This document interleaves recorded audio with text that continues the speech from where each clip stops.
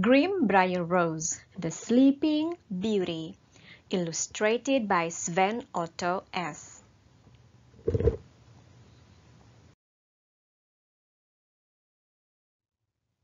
Translated by Anne Rogers.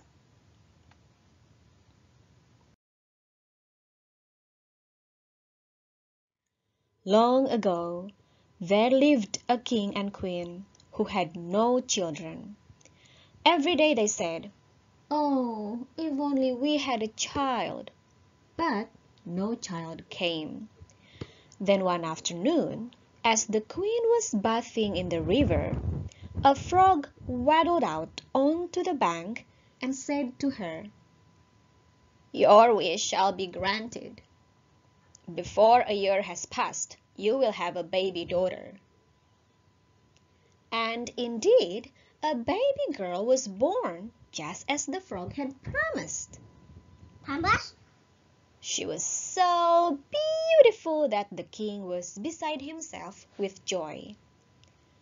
To celebrate her birth, he arranged a splendid feast and invited not only his family and friends, but also the wise old women of the land, so that they would wish with their child well and keep her from harm.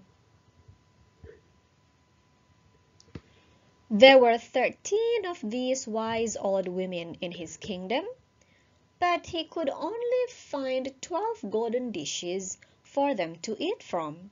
So one of the old women had to be left out and was not invited.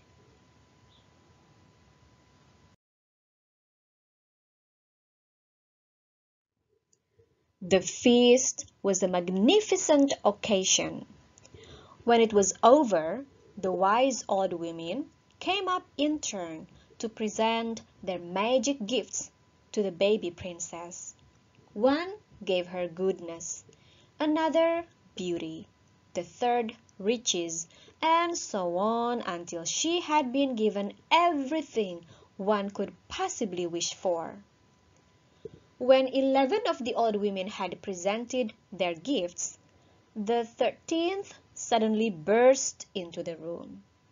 Without stopping to greet her host, and thinking only of a way to punish him for not inviting her to the feast, she cried out, when the king's daughter is fifteen, she'll prick her finger on a spindle and fall down dead.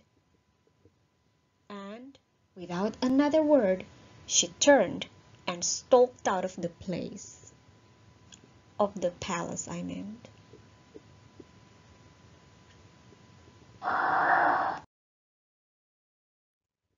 Everyone was horrified. But then the twelfth wise woman came forward. She had not yet had her wish for the child. She could not undo the evil spell, but she could change it a little. So she said, The princess will fall down, it is true, but she will not be dead. She will only fall into a deep sleep lasting a hundred years. Hmm? The princess. The princess is in the palace. Yes? The king did his best to keep his dear child from harm.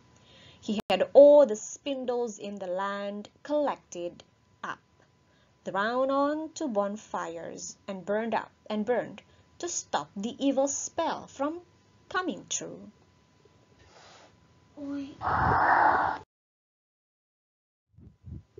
The princess on Polish. Hmm? The is princess on a castle. Yeah. She's walking down her castle. Each day, the princess grew more beautiful, and she was so sweet tempered and kind that all who saw her loved her dearly. Now, on the very day that she was fifteen years old, the king and queen had to be away from home. But king. Yeah, they had to be away from home. And Briar Rose, for that was the princess's name, was left behind. She decided to explore part of the castle she had never seen before. She wandered about, looking into all the rooms and secret corners. Soon she came to an old tower. She climbed the spiral stairway and found a small door at the top. In the keyhole was an old rusty key. She turned it and the door swung open. It led into a little bedroom where an old woman sat busily spinning flax.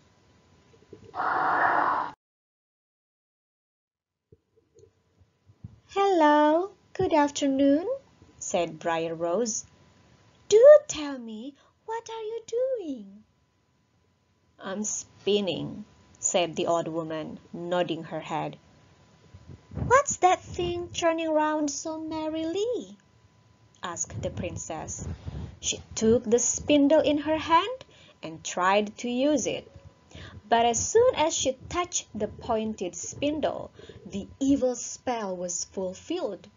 She pricked her finger and immediately fell onto the bed in a deep sleep.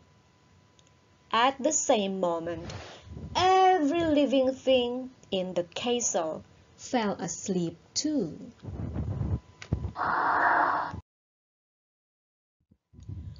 The king and queen, who had just come home, fell fast asleep, and so did all their courtiers and servants. The horses fell asleep in their stables, the hounds in the courtyard, the doves on the roof, and the flies on the walls. Even the fire in the stove flickered and died down. The roast meat stopped sizzling and gradually cooled. The cook, who had just seized the kitchen boy by his hair, ready to slap him, let go and fell asleep his hand still raised in anger. The wind slept too, and there was no movement in the leaves on the trees in front of the palace.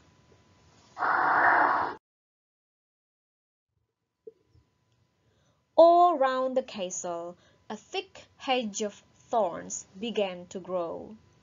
As the years went by, it became thicker and higher until at last it was so thick and so high that the castle was completely hidden.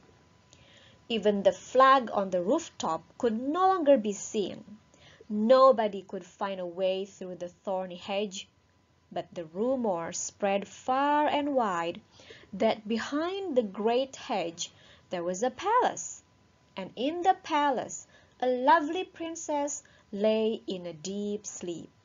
From time to time young princes came to try to hack their way through to the castle, but they did not get far, for the thorny branches would not be parted and clung tightly together.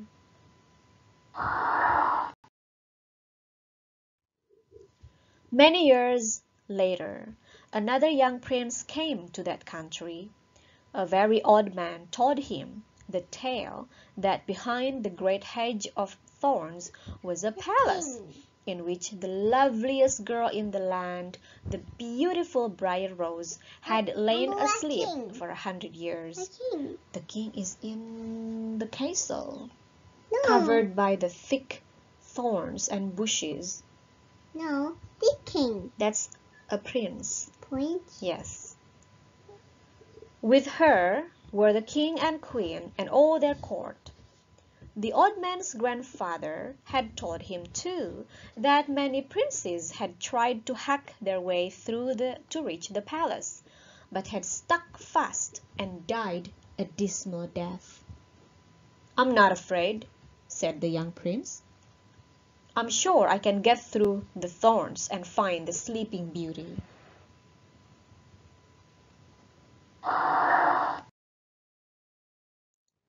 The old man did his best to stop the prince, but the brave young man took no notice. Now, it so happened that exactly a hundred years had passed since Briar Rose had pricked her finger on the spindle and fallen asleep. The young prince set off boldly to hack his way through the thorns.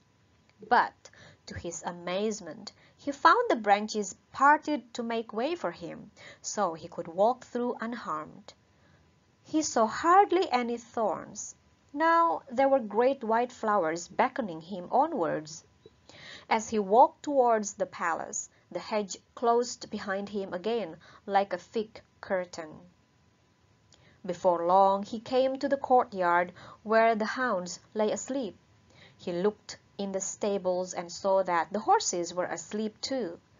Up on the roof the doves slept, their heads tucked under their wings.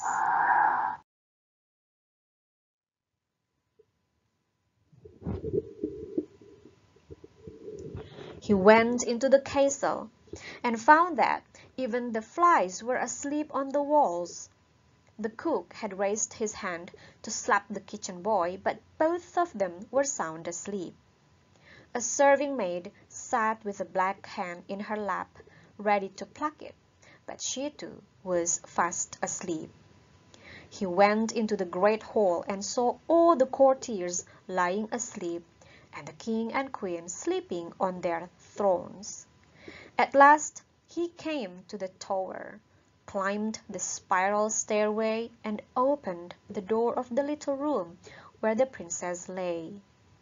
He gazed at Briar Rose for a long time, for she was the most beautiful girl he had ever seen. Then he bent down and gently kissed her. When his lips touched her, she opened her eyes and smiled at him.